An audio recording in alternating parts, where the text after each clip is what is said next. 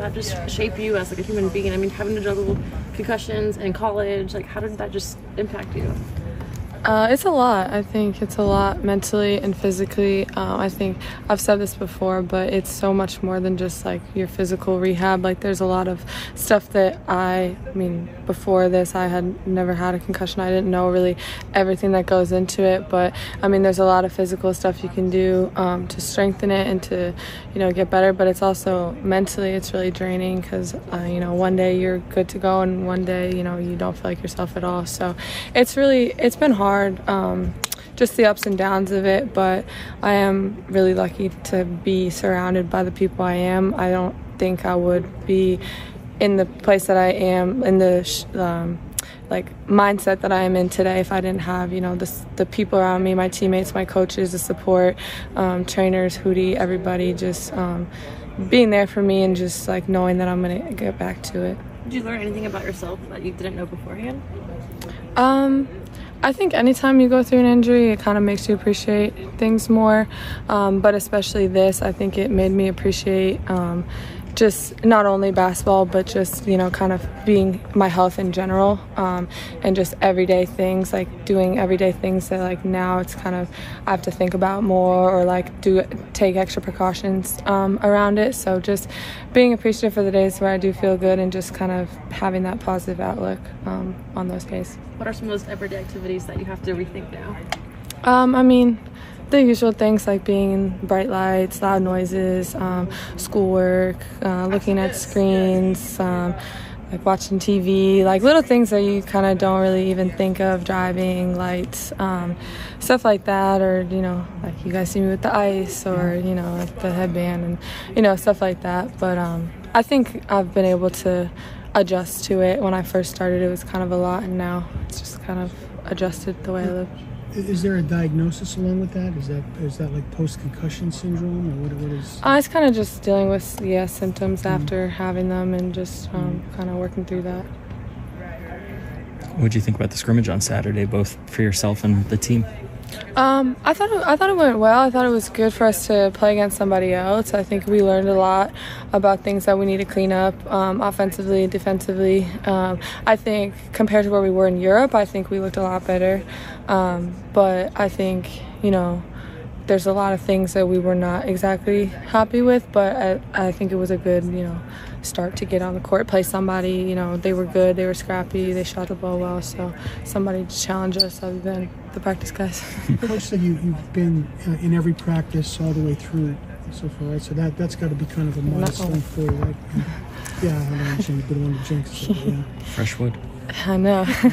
yeah, yeah. I've, I've felt really good um, the past couple weeks, um, and just being able to get through that. I mean, that was like my biggest thing this summer was just trying to get healthy, stay healthy, um, and I mean, there's a lot of stuff that goes into it. I'm not just you know coming out here and feeling good. So I, a lot of it, there's a lot of behind the scenes stuff. So I'm really grateful that I have that to help me. What do you think people will see now that when they see you healthy and the the rest of the team healthy, where you kind of fit into the group? You know, there were times when you were kind of the savior because there so many people were out and mm-hmm. then you would be out. But seeing the whole team together, where do you feel like you fit in? What do you think people are going to see?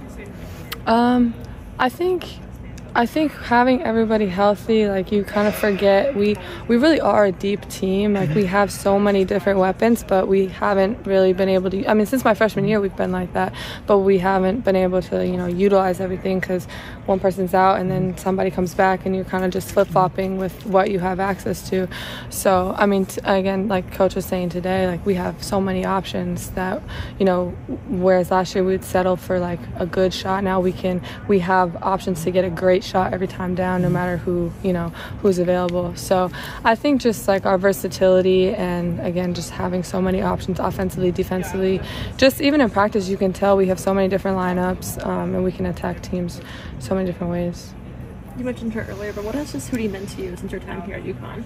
Yeah, she's she's been amazing. I think we're really lucky. I mean, I'm sure everybody says this, but we really are lucky to have her and just like her knowledge and just everything that she brings. You know, she's always like I've stayed on campus the past two summers. Um, and the majority like the main reason for that was to work with her and obviously janelle too but to work with her and just be able to get stronger um, and she's also like a huge asset for us mentally like especially with all these injuries you know she's always someone we can go to and she's always finding different things for recovery different. She's always looking up different things, sending me different things. Like I heard, let's try this for your head. Let's try this supplement. Like let's try this form of recovery. Um, so we're really lucky to have all of her support, um, and it's it's made a huge difference.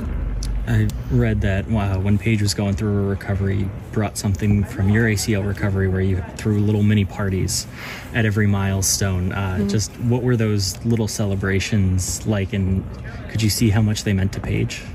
Yeah, I think that was something that like I remembered being hard in my ACL, not only my ACL but in a lot of my injuries, just like try, having to kind of not look at the big picture and like celebrate little things where like she's an elite athlete and she's celebrating like walking again. Like that's terrible. Like you know it's a hard like pill to swallow. So i think that was something that yeah um, we started um, where we do like Shirley Temple parties and like I'll give like a little toast for like her first steps. And then like uh, when she was off crutches uh, we had one. Jana got was off her boot so we had a little party for that um, I think um, I, when Ice got cleared Ice just had like her one year anniversary so we did a little cake for her anniversary so I think just kind of like celebrating those little things it kind of keeps you like again like Ice's injury happened like a, again like a year ago, but you know it's still like something that's like obviously on her mind. She's still dealing with it, so just to like kind of celebrate those little things like meant a lot to me. So I like to do that for other people. Have they had any of those little parties for you here with your different yeah. things, or do you not feel like you're over them yet, or? I mean, yeah, I think it's it, there's some little little things that we do. We do them for birthdays too and stuff. So, I mean, mine's kind of a work in progress. So it's, but yeah. It's for everyone. Are they handmade cakes or store bought cakes? I personally am not a baker, um, so I Jana made she made cupcakes. Um, somebody's birthday, she made cupcakes. So I will usually buy the dessert, but I like to like do like handmade cards or stuff like that. Or the Shirley Temple toasts are like are handmade, I guess. so keeping on the Evina tradition. That's those are big shoes to fill, but I like to try. Has that been something you've uh, just tried to grow in being a bigger leader for this team? Yeah, I think so. I think we have a lot of great leaders on this team. Like all of the upperclassmen, I think kind of bring their different aspect to it. Um, and I feel like, especially like as far as injuries go, and just like I've had my fair share of ups and downs here, and being able to kind of be that support for people and try to, you know, brighten brighten people's spirits and you know keep them because it's hard like it's the hard process and unfortunately so many of us are going through it